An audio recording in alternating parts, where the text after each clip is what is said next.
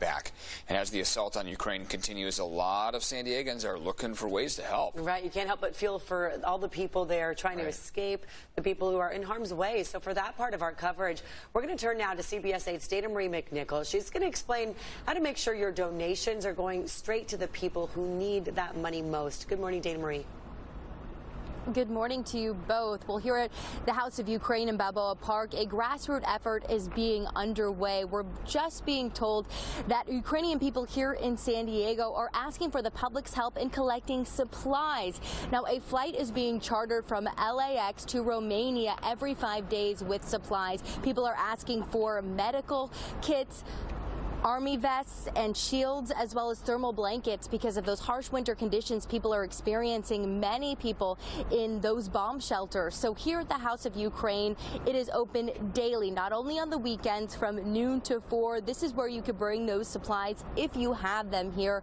Now with that being said many nonprofits are asking for cash donations because of how expensive it is to send physical supplies over to ukraine. Now we did speak with a salvation army who is a legitimate legitimate organization saying that their cash has already helped people there.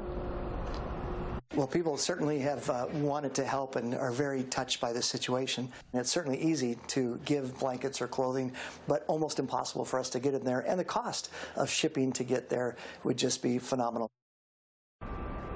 Now, that was Colonel Lee Lescano who says at the Salvation Army's website, people can select an option ensuring every single dollar of what they give does go straight to Ukraine. The organization already has sites in Ukraine and in the surrounding area, so the impacts of your dollar is already being felt by people there. The donations collected so far have provided some hygiene kits, shelter, as well as helped people get to safety.